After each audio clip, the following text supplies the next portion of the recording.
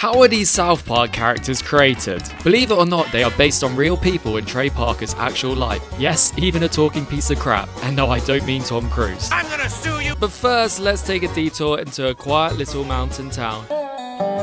Co-creators Trey Parker and Matt Stone have never officially confirmed if South Park was inspired by one single location or town. However, many believe the cartoon location is inspired by the town of Fairplay.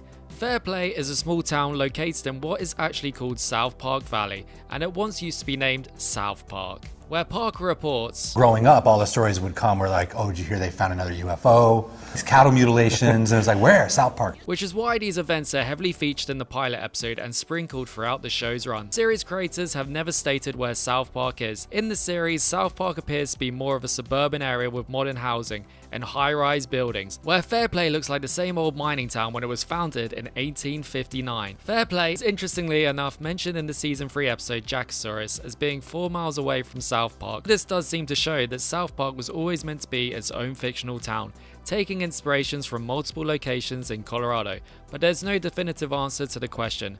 But in Fairplay, you can find random South Park characters hidden away in different local spots, from a display on Main Street to a hidden Mr. Hanky on the front of a nearby shop, and even one pottery store which has transformed into a South Park museum. In the episode The Scoots in season 22, there is a map displayed during a town meeting. The neighbouring towns pitched around were Fairplay, Hartsel, Breckenridge, Leadville, Como, and Marla Vista, having South Park centered in the middle. Backing up the argument, South Park is its own fictional town. Stan was lightly inspired and modeled after series creator Trey Parker. He shares his Marsh surname with Parker's paternal step-grandfather. Stone specified that Trey and him used to make silly voices in college, which became Kyle and Stan. We got in trouble for in college. Trey and I would always get thrown out of class because we did this one stupid voice that basically sounded like Stan and Kyle. And his foul mouth just like the rest of his friends. As Parker and Stone claim that's how young boys talk amongst themselves when alone. kids acting the way kids really act because there are all these things at the time about you know the precious innocence of a child and how you know basically adults were all corrupt and children were all wonderful Some fans of the show think that Stan may be partially based on Parker's childhood friend, Stan Goff. In an interview with Vulture, Park acknowledged that Goff was an inspiration for the character, stating he was the most real down to earth kid in a sea of fakeness.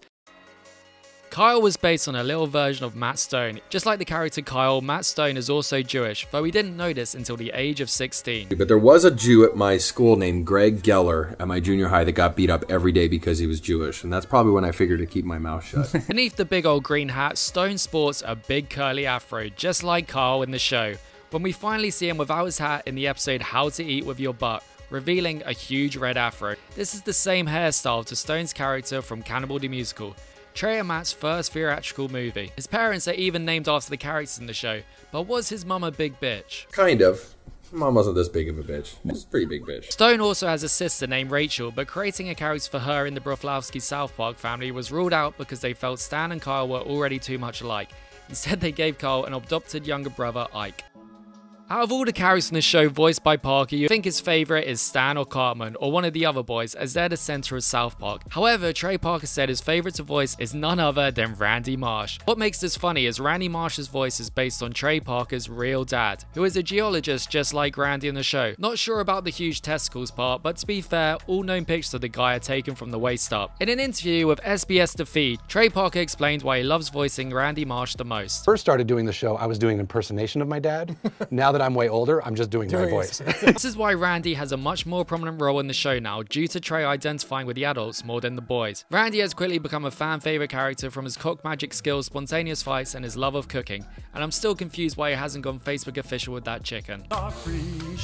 Oh, yeah. Real Randy Marsh also has a great sense of humor, telling Trey that More Crap was his favorite episode, which sounds a great and hilarious father-son relationship if you ask me. How did Trey learn drugs are bad, other than the Oscars?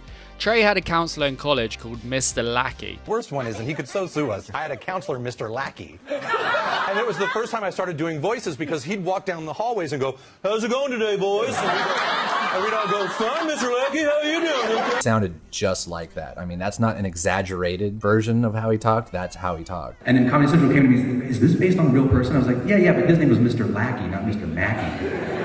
I'm like, can't fucking do that. With one TikToker even providing proof that he knows Mr. Lackey by showing his yearbook from 1994, which includes a picture of the counselor, and you'll never guess what his first name is. Liane Cartman is loosely based on Trey's ex, who cheated on him one month before they were due to be married. I was engaged to this girl, Leanne, who uh, we were sort of high school sweethearts, and engaged for a year. Everything, friends had plane tickets, the dress was bought, the church was paid for, and uh, about a month before the wedding, she decided to start sleeping with this guy in an a cappella group. Well, he was in an a cappella group, you know? He even based a horse in Cannibal the Musical on her. A horse named Leanne who leaves him, and how sad that is who she left for an insurance salesman at Foley's, and Trey wants to give her the constant reminder of her self sabotage. Hi, I'm worth $7 million, and she's, she's with the manager of Foley's. Whoops! she was, though, recently at Red Rocks trying to get Trey to notice her, watching the South Park 25th anniversary concert. Which seems appropriate to her being in a place with a lot of banging. Cam was written to South Park as Cartman's mum, being the town slut, appearing in Crackcore magazine and other questionable movies. But even though she has this promiscuous side, Cartman's mum has a good heart and means well. I'm guessing the real Leanne may have regretted her decision later on just a little. The character of Eric Cartman is based off Matt Cartman, who is good friends with both Matt and Trey. Cartman was apparently the slightly overweight and late bloomer of the group that had a sharp tongue for comebacks. He was teased a lot more than the rest of his peers, which forced him to develop hard-hitting insults. Later in life, Cartman lost the baby fat and takes, in his words, high-level karate classes, bragging that he would bung sao your ass. But knowing Cartman, that could just be a huge exaggeration just to intimidate. Trey got the name for Cartman when a group of them were trash talking during a football game, and one friend blurted out, Shut up, Cartman. Trey, who had been sitting quietly in the corner observing this brofest, blurts out, Cartman, that's the perfect name for the fat kid. But Cartman's personality in the show is also based on Archie Bunker from All in the Family. They alleged in 2008 that creating Cartman as a little 8 year old fat kid made it easier for the two to portray a Bunker like character. Trey describes the way he does Cartman's voice is by doing Stan's but adding a lot of fat to it. When developing Cartman's character, Parker said everyone either remembers an annoying fat kid in their past or they were the annoying fat kid. There's also rumours that Cartman was heavily inspired by Boris Johnson. The character Butters is loosely based on South Park co-producer Eric Stout. Parker and Stone got into a habit of calling him a goody goody as he hates to offend just like Butters. They decided to develop Butters as a more regular and returning character after being irritated by his geeky behavior during their production of South Park Bigger, Longer and Uncut. Both Parker and Stone then made the decision to transfer Stout's traits to the character Butters, making his speaking debut in Two Guys Naked in a Hot Tub. And he said, no, I never told you. All crew members used to refer to Butters' character as Puff Puff and Swanson. He kept being named by these in storyboards and all the scripts until it was finalized as Butters. Butters slowly but surely became one of Parker and Stone's favorite characters, and so they decided to create his very own episode for the show. We're gonna put you in the show, Butters. Yeah, he's like, well, you better not, I'll get awful mad. Which was the fifth season finale, Butters' very own episode. As the name suggests, it was dedicated to Butters entirely, as well as his parents. Stone describes his character as embodying permanent innocence. Butters, however, funnily enough, thinks of himself as a problem child, all because his parents make him believe it. Eric Stout could almost be Trey Parker's little brother. Plenty of people believe he is, because of his looks and sweet behaviour just as a younger version of Parker could be. Stout, the inspiration behind Butters' character, has been close friends with Parker since middle school and is an important part of South Park. Has even been part of the animation since the very beginning, helping with the spirit of Christmas. Stout explains the name Butters was originally just a nickname given to him by Parker. It was a mutation of the word buddy. Quoting, Trey told me that I'm the most anchored person working on the show, and I think they were looking for a contrast to the character Cartman, he says. The nickname came from the idea of Buddy, Goody Two Shoes, and then Trey went through this phase where he had a tendency to add ers to the end of everything. I hated the name at first, but then I started growing into it. Now I'm honoured that they've modelled the character after me.